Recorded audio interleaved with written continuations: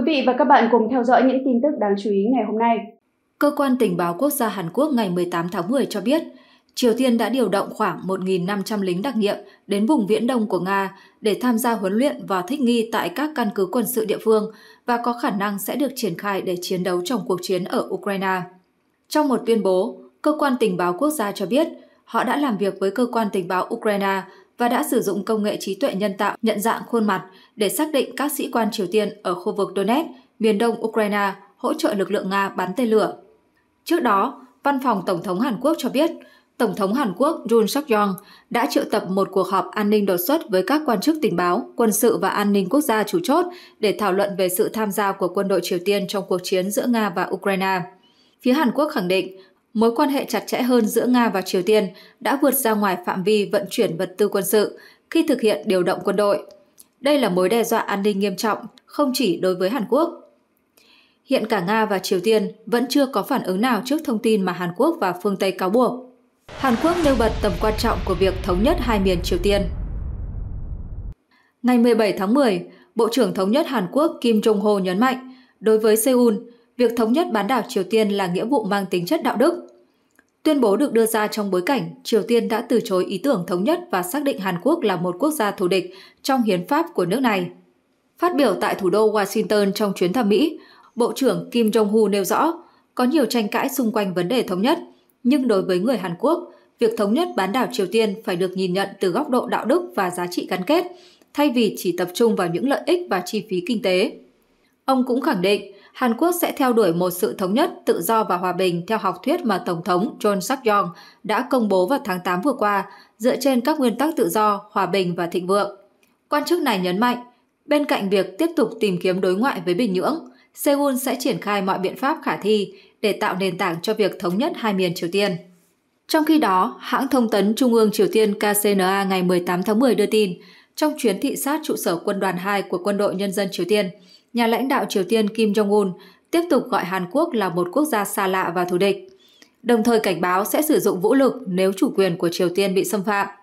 Những phát biểu này được đưa ra hai ngày sau khi Bình Nhưỡng bắt đầu cho nổ tung các đoạn đường bộ và đường sắt nối với Hàn Quốc, vốn từng được coi là biểu tượng quan trọng của sự hòa giải liên triều. Theo KCNA, các tuyến đường bộ và đường sắt kết nối với Hàn Quốc ở phía đông và phía tây thuộc biên giới phía nam của Triều Tiên đã bị cắt đứt hoàn toàn. Trước đó ngày 16 tháng 10, Hội nghị Thứ trưởng Ngoại giao Mỹ, Nhật, Hàn lần thứ 14 diễn ra tại Seoul, trong đó các bên đặc biệt đề cập đến tình hình trên bán đảo Triều Tiên. Tại buổi họp báo sau hội nghị, Thứ trưởng Ngoại giao Mỹ Kurt Campbell cùng hai người đồng cấp Hàn Quốc Kim Hong Kyun và Nhật Bản Okano Masataka đã nhất trí sẽ giữ vững mối quan hệ đồng minh, tăng cường hợp tác an ninh thông qua sự phối hợp chặt chẽ để ứng phó kiên quyết với các biến động trong khu vực. Hãng thông tấn Trung ương Triều Tiên KCNA ngày 18 tháng 10 cho biết, nhà lãnh đạo Triều Tiên Kim Jong-un đã gọi Hàn Quốc là một quốc gia xa lạ, đồng thời cảnh báo sẽ sử dụng vũ lực nếu chủ quyền của Triều Tiên bị xâm phạm. Những phát biểu này được đưa ra trong chuyến thị sát trụ sở quân đoàn 2 của Quân đội Nhân dân Triều Tiên ngày 17 tháng 10, hai ngày sau khi Bình Nhưỡng cho nổ tung các đoạn đường bộ và đường sắt nối với Hàn Quốc, vốn từng được coi là biểu tượng quan trọng của sự hòa giải liên triều. Ông Kim Jong-un cho biết, khi chủ quyền của Triều Tiên bị xâm phạm, thì lực lượng vũ trang của Triều Tiên sẽ được sử dụng không do dự, không cần tuân thủ các điều kiện. Trước đó, ngày 17 tháng 10, Triều Tiên tuyên bố rằng các tuyến đường bộ và đường sắt kết nối với Hàn Quốc ở phía đông và phía tây thuộc biên giới phía nam của Triều Tiên đã bị cắt đứt hoàn toàn. Hãng tin KCNA cho biết, theo chỉ đạo của Quân ủy Trung ương Đảng Lao động Triều Tiên, Bộ Tổng tham mưu Quân đội Nhân dân Triều Tiên ngày 15 tháng 10 đã thực hiện biện pháp cắt đứt hoàn toàn các tuyến đường bộ và đường sắt của Triều Tiên dẫn đến Hàn Quốc qua các khu vực phía đông và phía tây thuộc biên giới phía nam của Triều Tiên. Động thái này được cho là một phần của quá trình phân tách hoàn toàn giữa lãnh thổ của Triều Tiên và Hàn Quốc và được thực hiện theo từng giai đoạn.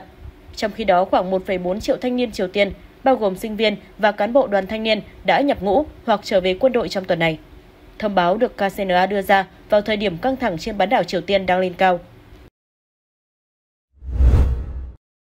Việc Triều Tiên cho nổ tung một số đoạn đường bộ và đường sắt nối liền với Hàn Quốc vào ngày 15 tháng 10 là một trong những động thái làm gia tăng căng thẳng trong khu vực. Hội đồng tham mưu trưởng Liên quân Hàn Quốc nhấn mạnh, hành động của Triều Tiên là cực kỳ bất thường. Trước đó, Triều Tiên cáo buộc Hàn Quốc điều khiển máy bay không người lái UAV bay qua thủ đô Bình Nhưỡng. Hàn Quốc không xác nhận cũng như không phủ nhận cáo buộc này. Vào ngày 14 tháng 10, em gái Chủ tịch Kim Jong-un là bà Kim Jong-jong cảnh báo khoảnh khắc một UAV của Hàn Quốc bị phát hiện một lần nữa xuất hiện trên bầu trời thủ đô Triều Tiên. Chắc chắn sẽ dẫn đến một thảm họa khủng khiếp. Chia sẻ với Business Insider, giới chuyên gia nhận định việc Triều Tiên phá hủy các con đường chủ yếu mang tính biểu tượng và không có khả năng dẫn đến chiến tranh với Hàn Quốc. Ông Jim Hare, nhà sử học và cựu nhà ngoại giao Anh tại Triều Tiên cho biết, hầu hết các tuyến đường liên triều đã bị đóng cửa kể từ năm 1953. Theo ông Hare, hành động phá hủy của Triều Tiên chỉ mang tính biểu tượng và không ảnh hưởng gì đến tình hình thực tế. Nếu đang lên kế hoạch tấn công, họ sẽ không cho nổ tung các tuyến đường. Ông Edward Howell, thành viên quỹ Hàn Quốc tại Chatham House, cũng cho rằng sự leo thang ngày càng gia tăng đều là một phần trong chiến lược hiện tại của Triều Tiên, đó là chiến lược bên miệng hố chiến tranh. Theo ông Howell, trong quá khứ, Triều Tiên từng tăng cường các hành động khiêu khích vào những năm bầu cử của Mỹ. Họ muốn thử nghiệm và xem liệu Mỹ có nhượng bộ hay không. Ông Peter Watt, nhà nghiên cứu tại Viện Sejong ở Seoul, nói với tờ Financial Times rằng Đối với Triều Tiên, việc phá hủy các con đường đóng vai trò như một cảnh tượng kịch tính để khán giả trong nước và quốc tế thấy sự thù địch và bất bình đẳng của họ đối với Hàn Quốc. Ông Peter nhấn mạnh, đó là cách họ thu hút sự chú ý mà không kéo theo phản ứng quân sự, bởi vì cuối cùng tất cả những gì họ đang làm là phá hủy những con đường ở bên họ. Nếu một ngày nào đó họ muốn xây dựng lại chúng, thứ duy nhất họ có rất nhiều là bê tông. Căng thẳng Hàn Quốc, Triều Tiên đã âm ỉ kể từ trước khi cuộc chiến liên triều chia cắt hai miền vào năm 1953. Cách tiếp cận của Triều Tiên trước đây là hướng tới thống nhất, nhưng điều đó đã dần thay đổi. Vào năm 2020, Triều Tiên đã cho nổ tung văn phòng liên lạc chung liên triều tại Kaesong. Tới tháng 12 năm 2023, truyền thông Triều Tiên đưa tin, Chủ tịch Kim Jong-un tuyên bố ông sẽ không còn tìm cách thống nhất hai miền và xem Hàn Quốc là quốc gia thù địch. Tới ngày 17 tháng 10, hãng thông tấn Trung ương Triều Tiên KCNA cho biết, Quốc hội nước này đã hoàn thành việc sửa đổi hiến pháp, qua đó xác định rõ ràng Hàn Quốc là quốc gia thù địch. Theo Bloomberg, thương mại giữa Hàn Quốc và Triều Tiên đã giảm xuống gần bằng không từ mức 2,7 tỷ đô la Mỹ vào năm 2015. Còn theo phân tích của Bloomberg Economics, một cuộc chiến toàn diện trên bán đảo Triều Tiên có thể khiến nền kinh tế toàn cầu thiệt hại 4.000 tỷ đô la Mỹ trong năm đầu tiên. Business Insider ngày 16 tháng 10 dẫn lời một tướng quân đội Mỹ cho hay quân đội Mỹ đang theo dõi sát sao một loại máy bay không người lái UAV mới của Triều Tiên sử dụng bản sao kỹ thuật đảo ngược của tên lửa Hellfire dành cho UAV Mỹ MQ-9 Reaper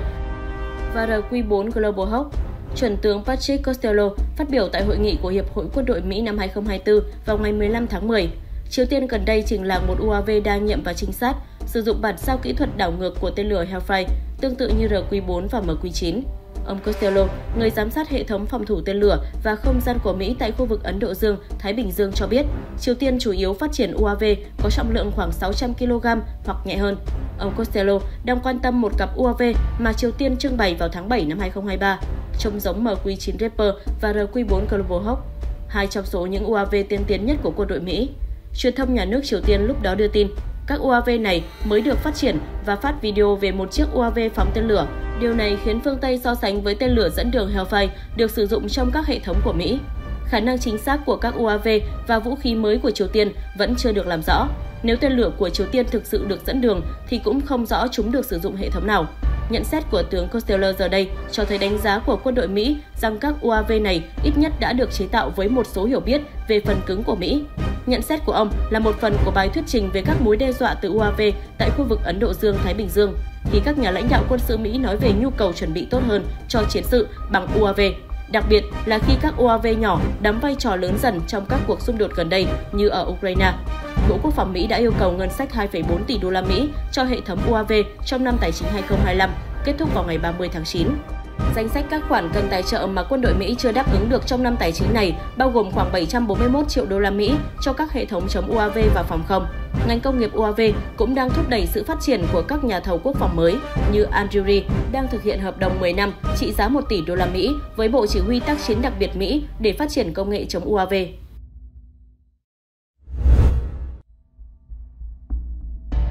Theo hãng thông tấn Trung ương Triều Tiên KCNA, Triều Tiên ngày 17 tháng 10 tuyên bố rằng các tuyến đường bộ và đường sắt kết nối với Hàn Quốc ở phía đông và phía tây thuộc biên giới phía nam của Triều Tiên đã bị cắt đứt hoàn toàn. KCNA cho biết, theo chỉ đạo của Quân ủy Trung ương Đảng Lao động Triều Tiên, Bộ Tổng tham mưu Quân đội Nhân dân Triều Tiên ngày 15 tháng 10 đã thực hiện biện pháp cắt đứt hoàn toàn các tuyến đường bộ và đường sắt của Triều Tiên dẫn đến Hàn Quốc qua các khu vực phía đông và phía tây thuộc biên giới phía nam của Triều Tiên. Động thái này được cho là một phần của quá trình phân tách hoàn toàn giữa lãnh thổ của Triều Tiên và Hàn Quốc và được thực hiện theo từng giai đoạn. KCNA dẫn lời người phát ngôn Bộ Quốc phòng Triều Tiên nêu rõ, vào ngày 15 tháng 10, các đoạn đường bộ và đường sắt dài 60 m ở Kamhori, huyện Cô Sông, tỉnh Kangwon và các đoạn đường bộ và đường sắt dài 60 m ở Tomneri thuộc Panmu, thành phố Kaesong đã bị cắt đứt hoàn toàn bằng cách nổ mìn. Trước đó, phía Hàn Quốc cho biết, sáng ngày 15 tháng 10, Triều Tiên đã cho nổ một phần các tuyến đường kết nối với Hàn Quốc. Cũng trước đó vài ngày, Bình Nhưỡng đã tuyên bố sẽ cắt đứt các tuyến đường bộ và đường sắt từng được coi là biểu tượng của hợp tác liên triều. Các tuyến đường bộ và đường sắt Gyeonggui và Donghae từng là cầu nối quan trọng giữa Triều Tiên và Hàn Quốc, được sử dụng cho các dự án hợp tác kinh tế và chương trình nhân đạo.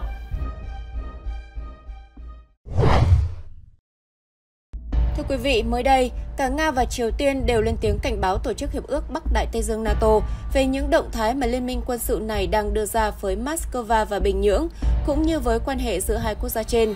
Hãng tin Sputnik dẫn lời bà Yulia Dzhanova, quyền trưởng phái đoàn Nga tại cuộc đàm phán ở Viên, Áo về an ninh quân sự và kiểm soát vũ khí cho biết, trên thực tế, NATO từ lâu đã chuẩn bị cho khả năng tiềm ẩn xảy ra xung đột vũ trang với Moscow. Theo bà, NATO đã phê duyệt các kế hoạch phòng thủ khu vực, xây dựng nhiệm vụ cụ thể cho tất cả các chỉ huy quân sự của khối và đang thử nghiệm các tuyến đường hậu cần để chuyển quân và vũ khí qua Đại Tây Dương đến sườn phía đông. Ngoài ra, các phương án khả thi cho xung đột với Nga đang liên tục được tính toán, từ cực Bắc đến Biển Đen. Nhà ngoại giao Nga nhấn mạnh, có những động thái hết sức khiêu khích được thực hiện ở hướng Ukraine như đều đặn gia tăng phạm vi cung cấp tên lửa, tiếp tục những phát ngôn khoa trương về khả năng gửi quân NATO tới Kiev. Trò chơi này có thể vượt khỏi tầm kiểm soát và dẫn đến leo thang xung đột với hậu quả thảm khốc. Bà Zanova lưu ý rằng Nga đang có những cảnh báo rõ ràng về điều này trên các diễn đàn ngoại giao quốc tế. Trong khi đó, cùng ngày, Bộ Ngoại giao Triều Tiên cảnh báo việc NATO có thể phải đối mặt với hậu quả bi thảm nếu tiếp tục theo đuổi lập trường chống Triều Tiên. Hãng thông tấn Trung ương Triều Tiên KCNA dẫn lời người phát ngôn bộ trên nhấn mạnh, NATO đã vu khống sự tăng cường hợp tác giữa các quốc gia độc lập có chủ quyền. Nếu NATO tiếp tục cố gắng xâm phạm phẩm giá, chủ quyền, an ninh và lợi ích của Triều Tiên, trong khi kiên trì theo đuổi chính sách thù địch, NATO sẽ phải chịu hoàn toàn trách nhiệm về những hậu quả bi thảm có thể xảy ra. Tuần trước, NATO đã ra tuyên bố lên án Triều Tiên và Iran vì tiếp tay cho Nga trong cuộc xung đột với Ukraine bằng cách hỗ trợ quân sự trực tiếp cho Moscow. Nga và Triều Tiên tiếp tục thắt chặt quan hệ với những chuyến thăm song phương dày đặc trong năm 2024.